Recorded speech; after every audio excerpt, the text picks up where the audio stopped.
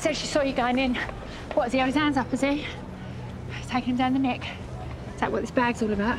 Yeah, your dad's right. If, um, if, if I don't do this, who knows where it'll end. If he don't do what? Look, darling, he's just going up to Peterborough for a bit to be closer to Sonia. Might be for the best. What do you mean? Well, put some distance between himself and all this. All this? What, me, you mean, I suppose? Well, it ain't doing you any good, is it? Having him here day in, day out. I just can't believe it. He's done it to you as well, and he's pulled the wool over your eyes like he has with everyone Look, else around here. You don't, you don't know if he's done this or not.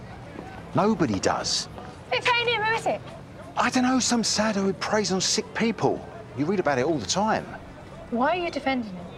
Oh, for crying out loud, Bianca! This is just what Joe used to be like.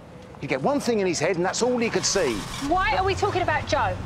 Bianca. Do you think I'm schizophrenic? Bianca, Do you think this is all look, in my head? I just Do you don't think I'm want to sick? see you getting into trouble. Ricky asked you to come back and help just for a minute, and just for a minute, I thought you were gonna.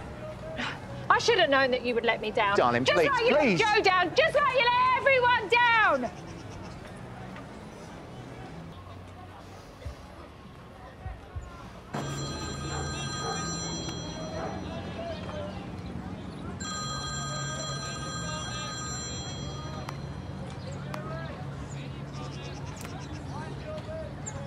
It's true what they say, isn't it, David?